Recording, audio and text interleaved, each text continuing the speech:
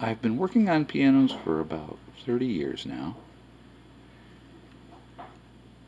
And this is the first time anyone's ever asked us to do any real work on a square grand.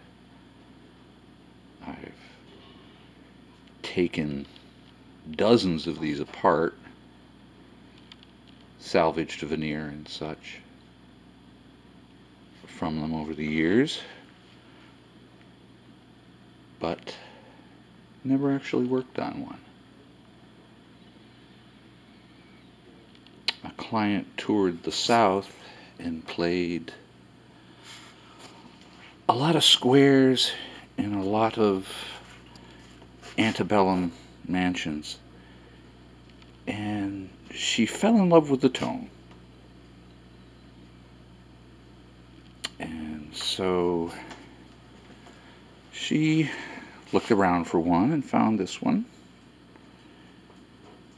And I'm glad she got this one. Two reasons. A, it's in really well preserved condition. Which means there's a multitude of headaches I won't have to deal with.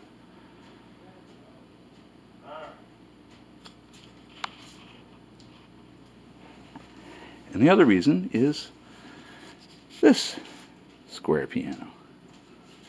This is my square piano.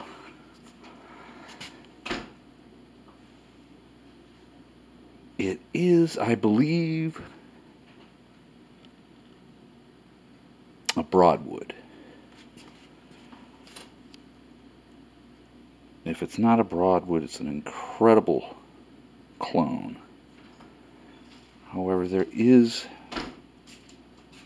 a label on the uh, fall board that says made for wooden company Edinburgh, Scotland. So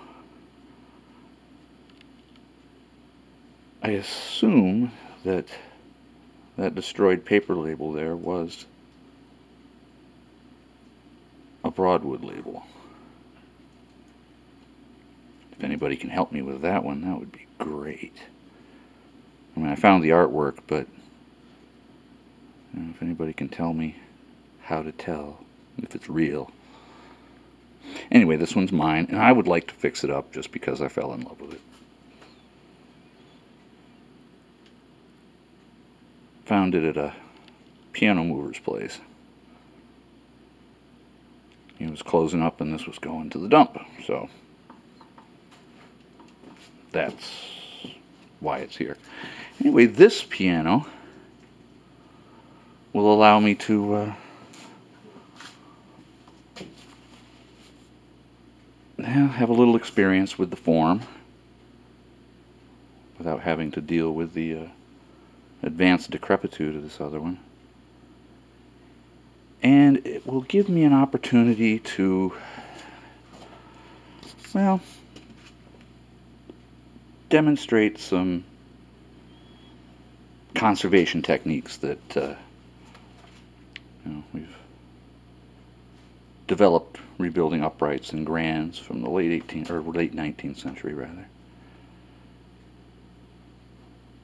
And this piano would be a great candidate for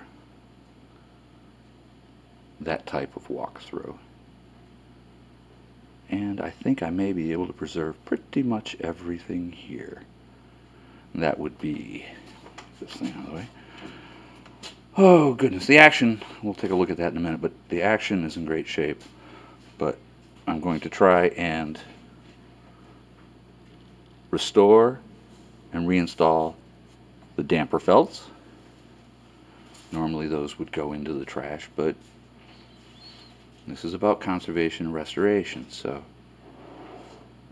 show how we work with those. Uh, there's a lot of felt that's got to go, but uh, anyway, the other thing I'm going to try and do is clean the original bass strings. Um, we've had great success cleaning copper wrapped bass strings. These are wrapped in iron and while they don't exhibit a lot of rust in any way, a little, but uh, iron and copper react differently.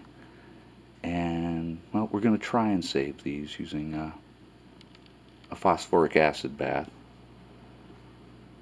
And if it works, yippee. If, if it doesn't, well, she's been forewarned she may have to get a set of strings from Germany. So,